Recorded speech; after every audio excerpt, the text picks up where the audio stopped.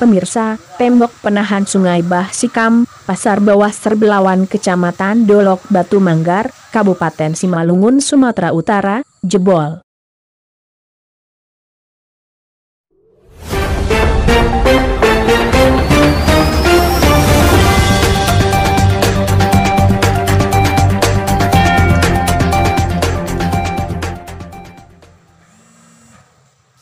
Untuk kesekian kalinya banjir melanda lingkungan Pasar Bawah, Kelurahan Serbelawan, Kecamatan Dolok Batu Nanggar, Kabupaten Simalungun, Sumatera Utara. Banjir yang melanda lingkungan Pasar Bawah berbatasan langsung dengan sungai terjadi pada Kamis 18 Juni 2020. Air melimpah dari sungai sejak pukul 3 waktu Indonesia bagian Barat dan dini hari di saat warga sedang tidur. Akibat banjir tersebut, rumah warga terendam air setinggi 1 meter dan air reda berkisar pukul 5 waktu Indonesia bagian barat. Banjir yang terjadi disebabkan besarnya debit air dari hulu sungai yang meluap melewati benteng atau tembok penahan sungai sehingga masuk melalui gorong-gorong parit. Meskipun tidak ada korban jiwa, namun banjir kali ini tetap menimbulkan kerugian berupa harta benda dan melumpuhkan kegiatan perekonomian warga karena mereka harus membersihkan tempat tinggal mereka pasca terjadinya banjir. Zul Azmi Lubis, Kepala Lingkungan Kelurahan Serbelawan, kepada Mona Lisa menegaskan. Pagi dengan siapa Pak? Saya Zul Azmi Lubis, Kepling Kota Serbelawan, termasuk Pasar Bawah ini. Jam berapa air pasang tadi malam? Jam pasangnya kira-kira air naik kira-kira jam 3. Surutnya jam berapa? Ya jam-jam 4 udah mulai eh, jam di jam 5 udah mulai surut. Jadi kerugian apa aja yang dialami oleh warga? Secara material kalau kita lihat inilah seperti ya peralatan-peralatan perabotan-perabotan rumah tangga dari masyarakat masyarakat yang ada di Pasar Bawah ini juga ya, termasuk ya lumpuhnya ekonomi nah, dari segi ekonomi kita lihat lumpuh karena mereka sibuk pada membersih rumahnya masing-masing Menurut penelit penghem, uh, penglihatan Bapak, ini kan sudah dibuat bendungan. Kenapa air masih bisa melimpah? Ini kebanyakan air ini kiriman dari atas seperti dari beringin sana bisa jadi juga. Seperti kita lihat dari tidak adanya penampungan dari debit air yang deras dari atas. Artinya meluap, meluap eh, melewati bendungan. iya melewati batas benteng yang ada juga di sini.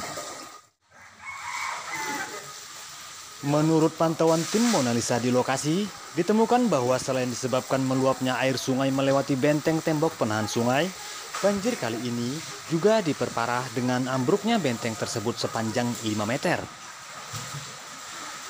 Benteng sungai yang bertujuan untuk mencegah atau meminimalisir banjir setelah ambruk tidak dibenahi, maka persoalan banjir tidak akan bisa teratasi. Tim gabungan Polsek dan Koramil 05 Serbelawan ikut serta membantu warga membersihkan lokasi yang terkena banjir seperti rumah warga, tempat ibadah, dan fasilitas umum lainnya. Hal ini dibenarkan oleh Kapolsek Serbelawan, Ibtu Jaresman Sitinjak SHMH yang saat ditemui oleh tim media berita Mona Lisa menjelaskan bahwa Kapolsek segera menurunkan personilnya untuk membantu warga Pasar Bawah yang sedang tertimpa musibah banjir. Selamat pagi Pak. Eh, Bapak sebagai Kapolsek baru di sini Pak ya. Eh, sebelumnya mohon perkenalkan diri lah Pak.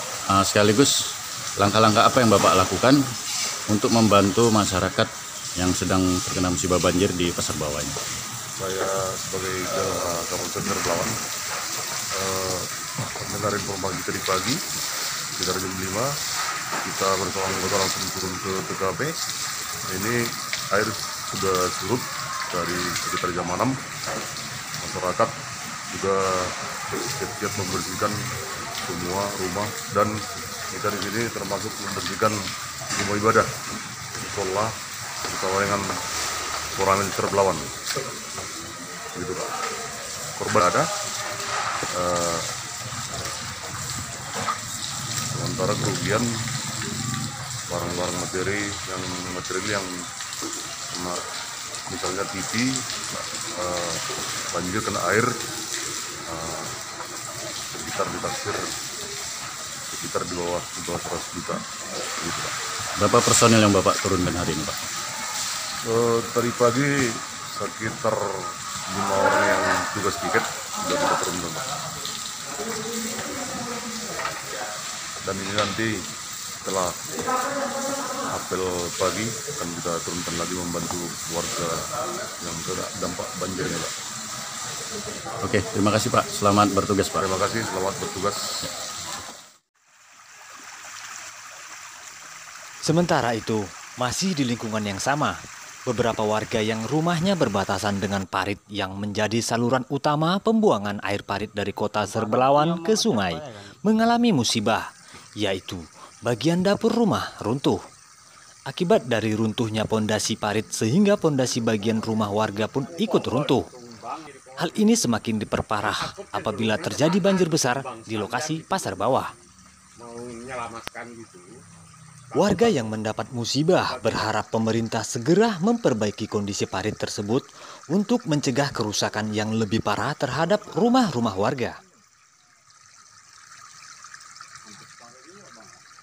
Seperti penuturan Joseph Hutagalung, warga Kelurahan Serbelawan saat dikonfirmasi Mona Lisa TV mengatakan, ini kejadian runtuh tembok sih. Memang kemarin malam sekitar setengah delapan malam tapi pondasi hilang udah mulai dua dua minggu yang lalu. Ya harapannya sama pemerintah ya supaya aliran buangan air ini supaya diperbaiki karena ini aliran seluruh kota Serbelawan mulai dari pajak baru eh, dari kampung baru sampai pajak buangannya ke sini semua.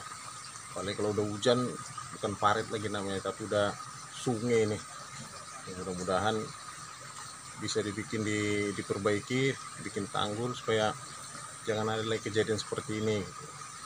Estimasi kerugian Bapak? Eh, apa? Kok sampai 7 juta mungkin. Bisa kena kalau bikin baru lagi ya 7 juta lebih.